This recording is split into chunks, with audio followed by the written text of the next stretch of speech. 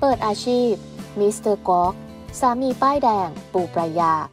หลังหลายคนสงสัยทำไมรวย เปิดอาชีพมิสเตอร์โกว๊ก สามีป้ายแดงปู ไปรยา มดดำ คชาภา confirm ว่ารวยมากจริง ๆ ถือว่าเป็นงานแต่งในฝันของใครหลาย ๆ คนเลยก็ว่าได้ หลังจากที่แฟนคลับได้เห็นภาพบรรยากาศงานแต่งของปู ไปรยาสวนดอกไม้ลุนด์เบิร์กในวันที่ 12 พฤศจิกายน 2566 ที่เบเวอรี่ฮิลล์เมืองลอสแอนเจลิสประเทศสหรัฐอเมริกา ที่นอกจากความรักของเจ้าบ่าว เจ้าสาว จะอบอวลไปทั่วงานแล้ว สถานที่และเครื่องประดับต่างๆ ก็ให้บรรยากาศแห่งความรักมากจริง ๆโดยปู ไปรยาดาราสาวลูกครึ่งไทยสวีเดนในวัย 34 ปี ได้เข้าพิธีแต่งงานกับมิสเตอร์โกว๊กแฟนหนุ่มนักธุรกิจระดับมหาเศรษฐีวัย 46 ปี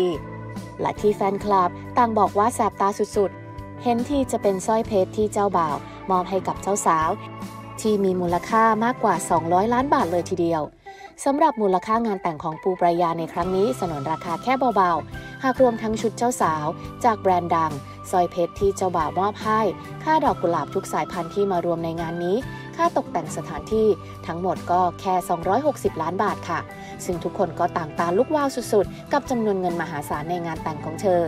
ทำเอาสงสัยกันไม่น้อยว่า แฟนปูปายานั้นเป็นใครทำไมถึงทุ่มทุนจัดงานแต่งมากกว่า 200 ล้านบาท ซึ่งก่อนหน้านี้หลายคนอาจจะทราบแค่เพียงว่ามิสเตอร์กวักนั้น เป็นสามีของปูปายา เป็นหนุ่มเอเชียนักธุรกิจระดับมหาเศรษฐี รู้จักกับปูปายาผ่านทางคุณแม่ ซึ่งตอนแรกฝ่ายหญิงก็ไม่ได้สนใจอะไร แต่ด้วยความที่สามารถพูดคุยปรึกษากันได้ทุกเรื่องทำให้ความรักเกิดก่อตัว อีกทั้งในวันที่คุณพ่อของปูปายาป่วยมิสเตอร์กวัก ก็อาสาไปเฝ้าไข้ให้แม้จะยังไม่รู้จักกันดีพอ จึงทำให้ปูยิ่งซาบซึ้ง อีกทั้งยังเป็นคนที่เข้าใจเรื่องการทุ่มเทในการทำงานของปูปรายา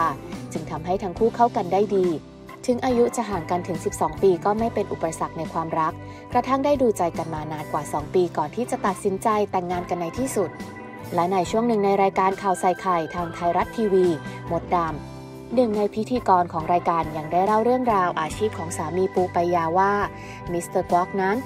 รวยมากจริง ๆ นอกจากจะเป็นนักธุรกิจระดับมหาเศรษฐีแล้ว ยังเป็นเจ้าของกาแฟที่ประเทศเวียดนาม อย่างที่เวลาหลายคนไปประเทศเวียดนาม เชื่อว่าทุกคนก็จะไปซื้อกาแฟ ซึ่งก็เป็นกาแฟของแฟนปู ไปรยานี่เองค่ะ